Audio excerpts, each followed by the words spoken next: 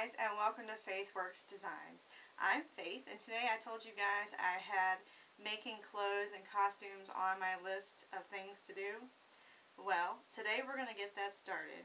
I found a pattern because I love, love, love my American Duchess cape that I made. I'll try and insert a picture somewhere. I love it so much. But I wanted something because we're, we're it gets kind of cold around here. So I wanted something that completely covered me up and looked a little bit more like the uh, Call of the Midwives jacket because I'm kind of like obsessed, just smidgen. So um, I went to Hobby Lobby and was looking around and I found this pattern from McCall's. It is uh, number M7477. I believe. So if you go, it, they should have it still um, when this video is posted. Um, and what I'm going to be doing, I decided on Jacket E. Hopefully you can see that because it reminds me more. I've got looking at uh, more videos and more of the like still shots of the jacket because I want the inner crossbody, which this doesn't have, but I'm going to try and draft my own thing and show you guys how I do it. But it had, um, the part could come together and actually button down the front and still have your hands coming out of the two little slits in the side. Or you can unbutton it and just have it as a cape. So what I'm going to do is I'm going to put this together and show you guys how I do it. Um, the very first thing I wanted to let you guys know before I get started, because this is going to be like fast video this morning, um, did you know that you can take your patterns when you open them up and you get them from the store, they're all like this. And chances are you have tried to make them lay flat on top of your fabric so that you can cut, number one, cut the pattern out. But number two, try and lay them flat so that you can cut your fabric out. It's really annoying and you don't really get very accurate results with that. So, a tip is you can actually iron this. It needs to be on a lower setting. Um, I would go ahead and cut around your pattern and then iron it flat and then cut, I would you know, do like a seam allowance situation with your pattern. Iron it out and then go ahead and cut the pattern out the way it's supposed to be cut on the edges. Um, and that way you get a, a more accurate way of making sure that your fabric is measuring what it's supposed to measure. I'm going to cut out my patterns and iron them and then you guys can watch me cut them out. So the very first thing you're going to want to do when you get a pattern is look for this piece of paper. It's going to have all your directions on it. This is the very front. It's going to have your pattern with all of the pieces and things labeled. We are doing pattern E and it is on the back. Now what's really helpful is when you're going over a pattern, look for this. Um, there's our pattern and it tells us if our fabric is 45 inches wide, this, or yeah, I'm blind as a bat, I need some glasses. This is how you're going to want to lay your fabric out. And up here tells you that's the right side of the fabric, right side lining, wrong side lining. So you really have to pay attention to what this says to know how to lay your fabric out. This one is going to be the wrong side of the fabric folded in half. Okay, and then you're going to lay pieces 1 and 4, 5, and 11 on that one. And that is for the regular fabric. Now for this one, that is going to be, sorry, I'm trying to read and do this at the same time. That is going to be the right side of the fabric is how you're going to lay that down. And then it's also calling for interfacing. So you see those little dots right there? It says interfacing. So if you see the pieces laid out and they have little dots on them, that's for interfacing. So you just got to pay attention to that. My fabric is 60 inches wide. So what I'm going to have to do is I'm going to have to lay it out like this with the wrong side of the fabric um, folded in on itself. Um, I'm debating on doing what the pattern says or just doing what I want to do because my fabric doesn't really have a right side and a wrong side. My fabric is the same on both sides. So we shall see if I decide to listen to fabric patterns or just do my own thing. Alright, another thing I want to show you guys is this chart. Now I am doing pattern E and I've got 60 inches of material. I am doing the large size. So this says that I need 3 yards and a quarter. Sorry, I'm trying to see. It's, it's not very clear on my viewfinder here. That's how you're going to figure out how much fabric you're going to need for our project. You look up here to see what size you're going to need and you look over here and see what pattern you're going to be using.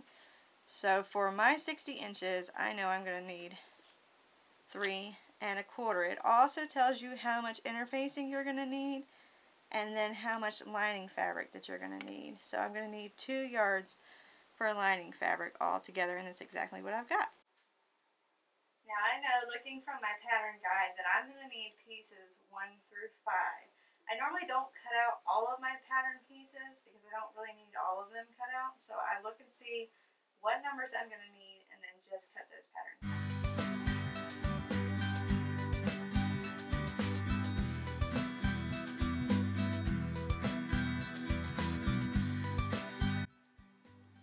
So what I've done is I've just kind of rough cut all of my pieces. So now what I'm going to do is I'm going to iron all this out on a lower heat setting um, I think mine is kind of like in between wool and silk. And then you're just going to go over it and make sure that all of those little wrinkles are out. And I actually got this tip from Angela Clayton. She's on YouTube.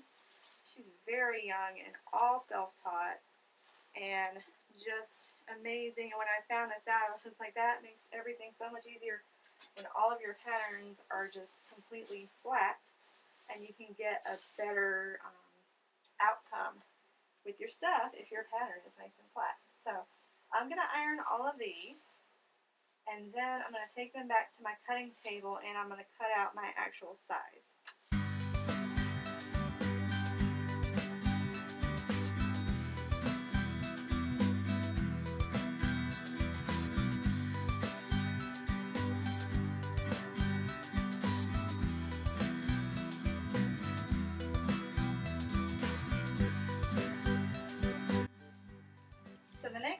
To do is to make sure, especially before you even get started, that you've got a fabric scissors and you've got paper scissors.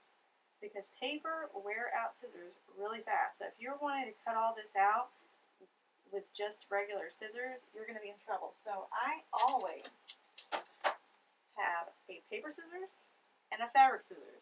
And the children are told, do not touch my fabric scissors. Now, what we're going to do is I'm going to find my size on here. I'm going to be doing the large size. And then I'm going to cut all the way around and out.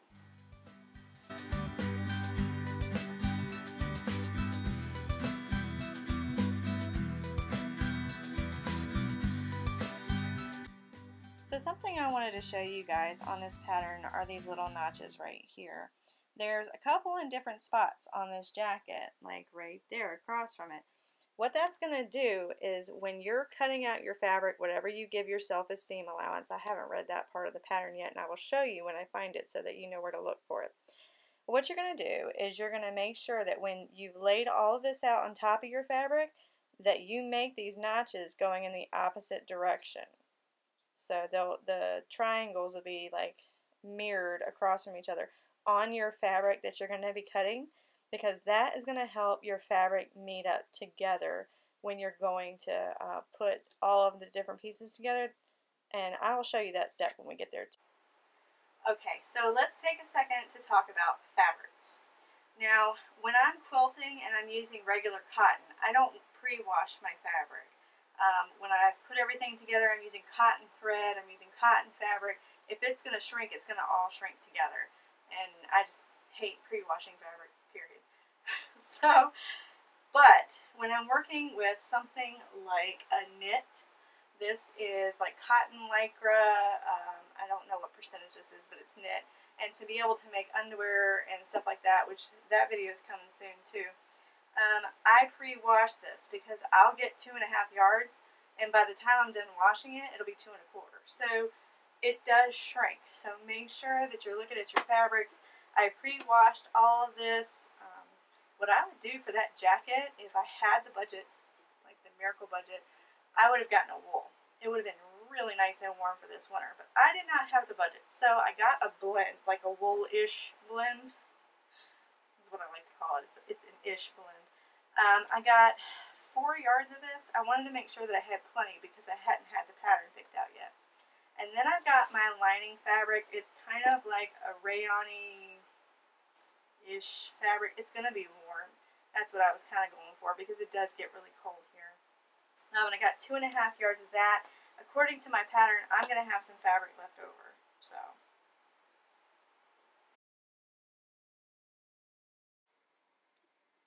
So I've got my pattern all laid out and what I wanted to show you guys is one of the pieces says,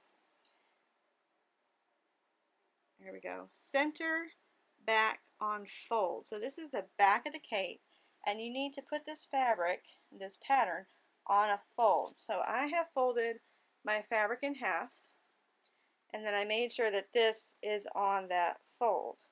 I've got all of my pattern weights out and handy. If you do not have pattern weights and you want to do clothing, you most likely need to get some sort of pattern weight so that you can hold all of your stuff down. And I got my friend to make me the cutest ones, and these are silver, so the light's kind of messing it up. She made me the cutest little pattern weights because I saw them online and I was like, please, please, please make these for me. So I'll link her shot down below, but she made them for me and they're adorable and I use them literally every day for everything that I'm going to do. Now, I put the pattern up next to me and I didn't like the length. I'm going to be adding a few inches in this direction. I don't know if you can see where I'm at. I'm going to be adding a few inches in this direction. Now, there are several ways that you can mark out um, your stuff. Now the first thing is to get tailor's chalk.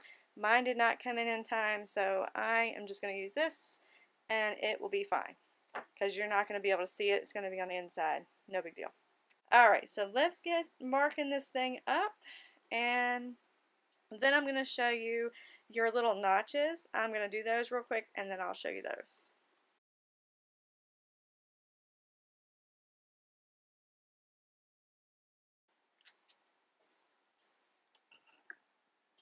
So basically that's what you want to do. Now I'm going to take tailor's chalk and do this line, but for the outside cut line that's what I'm going to do. And you're going to want to cut these notches going in this direction. My little triangles are so sad. But you make these little notches so that when you're putting all of your pieces together, you make sure that they line up really well. Okay, so on all of my pieces, what I did was um, I had added six inches. And because I added six inches onto the end to make it longer, I ended up being short on my red fabric. So what I'm doing is, I am now taking six inches and I'm going around the edges of the bottom of the lining and adding six inches of the gray. Now, it's hard to visualize how it's going to look, but basically on the inside of the jacket, all around the bottom, um, it's going to have just this gray going all the way across it. Now, if you're just following the pattern the way it's supposed to be, you'll be fine. Just make sure that you follow how much fabric it tells you to have. Okay, so I have gotten all of my lining pieces all done. And this is the very back, so it's the biggest one. And what I did was I put the gray fabric all the way underneath this thing.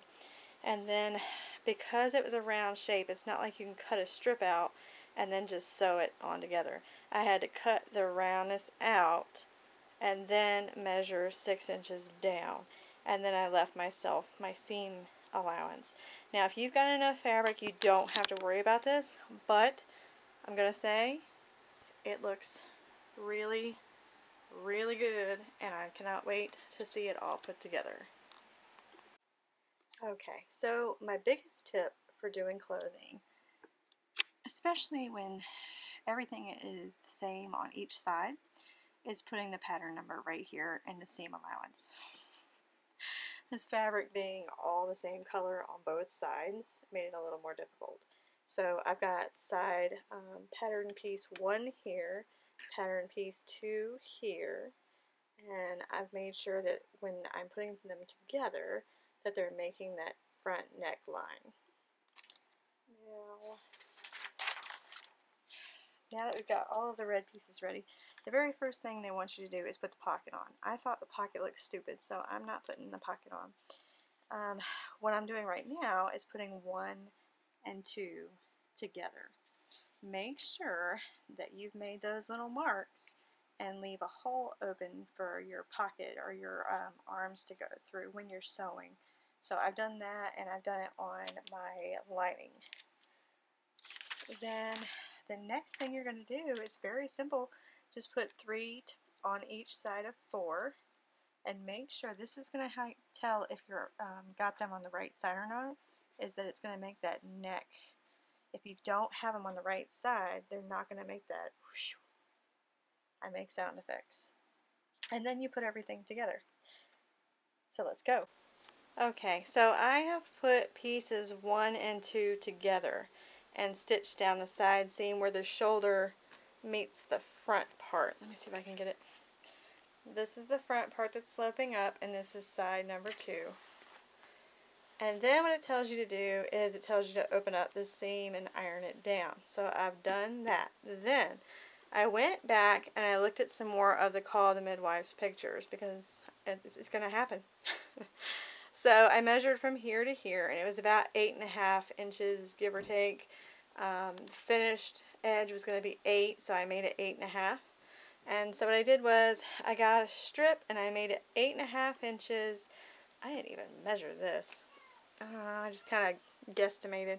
So that's about two and a half inches, so probably eight and a half by five. And then what I did was fold it in half and then I just sewed on the two ends so that it would stay flat like this. The next thing that I'm going to do after looking at pictures a little more closely was, if I can ever get this coat to open up, you gotta find the back side. And what I'm going to do is I'm going to attach, open this up, and right along that seam I'm going to attach this piece that I've made. Okay, and I'm going to sew along there for now. I've got to finish the lining and everything, but eventually this is going to turn over and then flip over this side of the pocket so that when your arms are in it and hanging out, you don't see inside of the jacket. The other, just the regular pattern itself, doesn't call for you to do that. So you're going to be able to see inside of this jacket, see your clothes, see the lining and all of that. So this is what I'm doing instead just I was looking at their pictures and I could tell like you couldn't see the inside of their clothes. So that's what I was going for. I will show you the steps as soon as I get Okay, so what I've done is you can see I'm on the inside of the jacket right now. This seam is turned under. Now if you're not going to do the adjustments that I'm doing, what they said was to just sew it down from the outside and just sew all of the seam out of your way. If you're going to make the little add-on pocket cover thing, um, I've got it all pinned up from one end to the other. And then what I'm going to do is just kind of sew all the way down. This is kind of more like a, a stay sit stitch situation just until I get the lining in and then I can sew all of it together.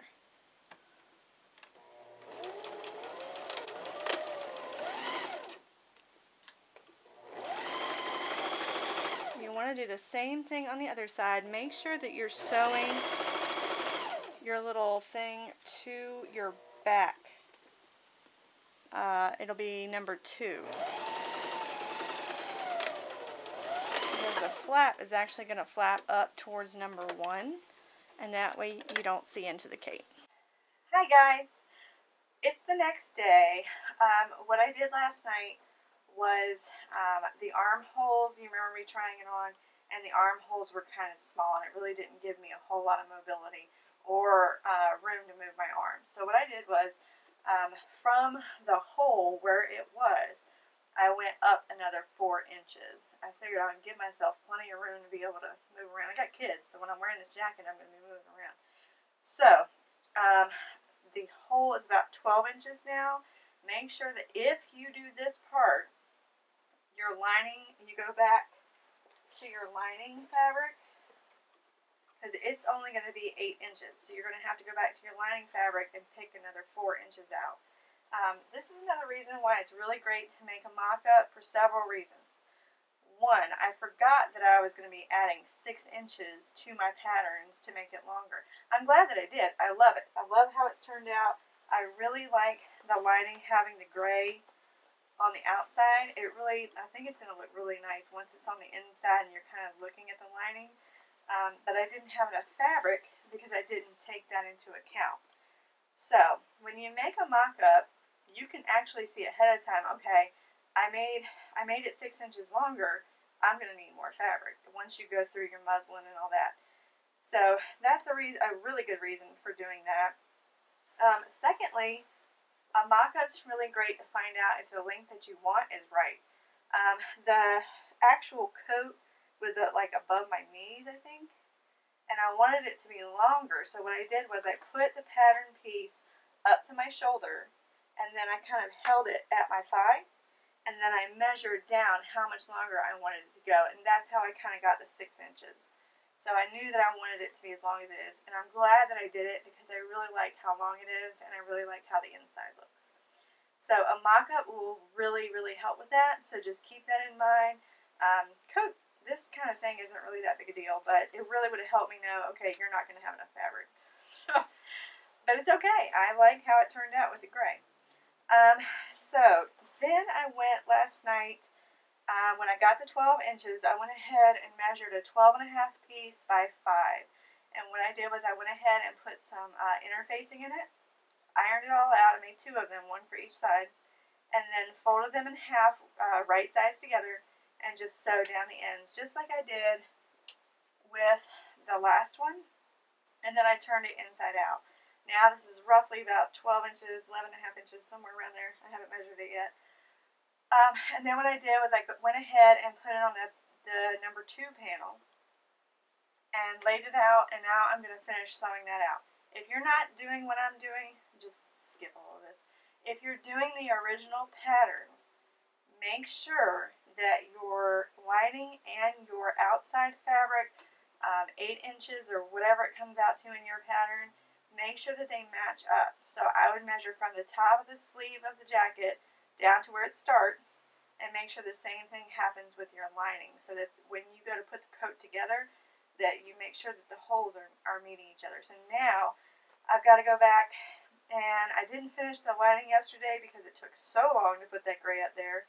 It looks fantastic, but it took forever. So I've got to finish the lining and let me see what else. So the placket, pocket, I know it's not a placket. I was looking up directions yesterday on how to do a placket. It's not a placket. I don't know what it's called. So if you know what it's called, let me know in the comment section. I was really, I'd really like to know what it's called. Um, once I get it finished, I'll take a picture of it, and then you guys can be like, oh, that's a blah, blah, blah. Help a sister out. All right. Let's get back to work. Hey, guys. All right, so it's been a few days. My husband is getting ready to have surgery.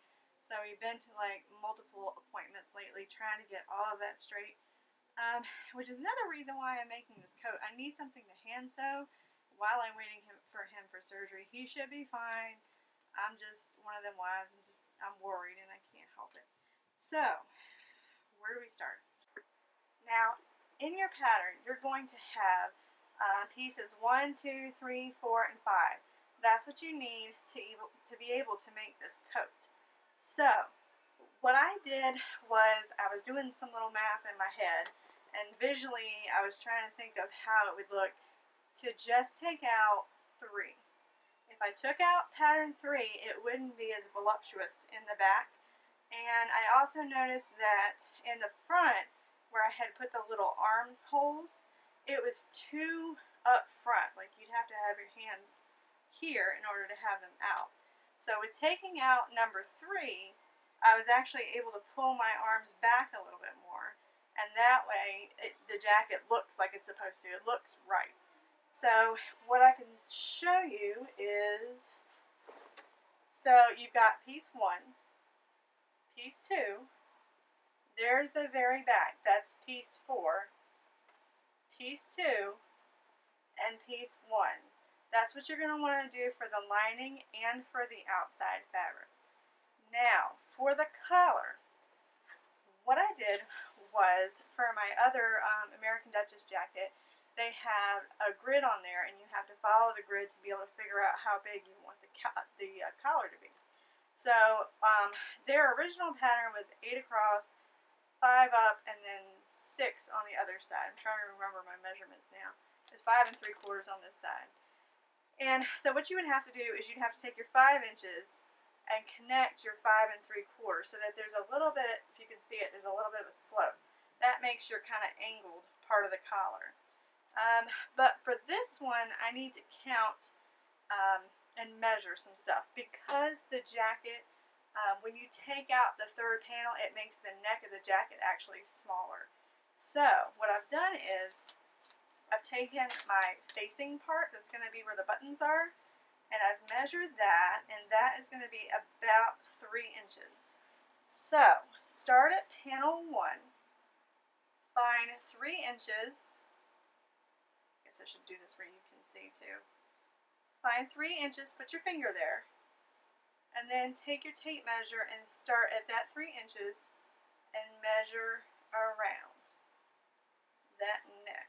So I know that when I'm trying to make my collar, let's see, we'll take away one, two, three, it needs to be 17 and a half inches for the collar. So I've got three inches I'm saving on one side and three inches I'm saving on the other side. So in the middle, roughly, I'm going to remeasure it to make sure that I know what I'm doing. Um, it's 17 and a half inches in between the neck part that you can actually attach a collar too. So when I get that all measured out, I'll show you guys what I did. Alright, so to get my 17 and a half inches, what I did was I got a piece of paper um, and I measured out 8 yeah, eight and three quarters. There we go. Had to refresh my brain. So half of 7.5 is 8.75. So that's eight and three quarters. Then I measured up six inches here and five inches here. And then I made, I connected the five and the five and three quarters. It just gives you a little bit of a slope so that your neck band will look like the other one. Um, and then I laid my fabric in half and cut out two, one for the top and one for the bottom. And then when you lay it out, it'll be this wide. Now what you're going to do is you're going to stitch along this side, along here, and then along there. And then turn it inside out and you'll have your collar. Alright, so I've taken my collar and I've sewn it and then I went back and I turned it inside out and then top stitched all the way down so it'll stay nice and flat on the edges. And then what I've done is just kind of um, pinned it onto the top of the front side of the jacket because I'm going to be doing my lining in a little bit, but not yet. Um, something else I failed to mention that I am literally getting ready to do is that you need to press your seams on both your jacket and your lining. So go through and press out all your seams before you do your collar. So what I did was when I pinned everything down, I went ahead and just kind of opened that seam. I'm going to have to take the collar off now and go ahead and just um, iron everything and press all the seams open. Then when I get done pressing the seams, I'm going to go ahead and um, sew a stitch all the way across just so that the collar um, is attached and it's not going to go anywhere and we are almost done. Yay! Alright, so I've laid everything out so that you can basically see what I've done. The lining is facing up. The jacket facing, it, um, the good side of the jacket is facing down so that right sides are together. You can see my seams over here. So this is the wrong side of the fabric. Now I pulled this back so that you can see the right side of the lining and then I'm going to flip that over and then it'll be right sides together. So what you're supposed to do is on the very bottom you're supposed to leave a gap so that you can turn everything inside out. You're supposed to sew all the way around, around the neck, all that way, and then back this way, and then just leave yourself a spot so that you can turn everything inside out. What I'm going to do is I'm going to sew from that corner all the way up around the neck back down. Then I'm going to turn uh, turn it inside out and then I'm going to hang it up just just like my American Duchess jacket is right now. Um, the reason I did that was because if you cut it on a bias and then you go ahead and you sew everything up, um, sometimes the bottom half, depending upon if you did it on the bias or not, is going to kind of warp. It's almost like if you've ever made a circle skirt, um, you have to hang it up and let it do its thing, and then sometimes it doesn't and sometimes it doesn't. Um, but that's what I'm going to do. I'm going to hang mine up, and then what I'm going to do is take the outsides. You can probably see I did it on this one too. You can turn them in on themselves and then just top stitch it closed. What I'm going to do with this one is I'm going to leave that bottom open. Um, I may sew in a little bit, but I'm leaving this open so that I can have something to sew while I'm waiting on my husband. So that way I'll have something to hand sew and something to keep me busy. So my mind will be busy. Then, after you've sewed it all around, you've turned it inside out, you're going to top stitch all the way around. And then um, I'll show you that when we get done, so that'll probably be a few more days from now. Alright guys, so this project was a little longer than I had intended it to be. I wasn't really sure about the jacket since that's not something I really do all the time. So it's going to be a two-part series, uh, so we're going to cut it off here. If you want to grab the pattern, uh, 7477 of McCall's, um, you can have that ready to go for when the next video comes out as we finish the jacket. Um, so far it's turning out really great and I think you guys are really going to like it. Um, so if you like this video, you can give it a thumbs up, or if you want to subscribe and hang around and see the rest of the jacket, go ahead and click that subscribe button so that uh, YouTube will let you know when I've next uploaded. If if you want to leave some comments down in the comment section, if you've got any questions or anything you guys want to talk about, just leave it in the comment section and I'll get to those right away. See you later, guys. Thanks for joining Faithwerks Designs.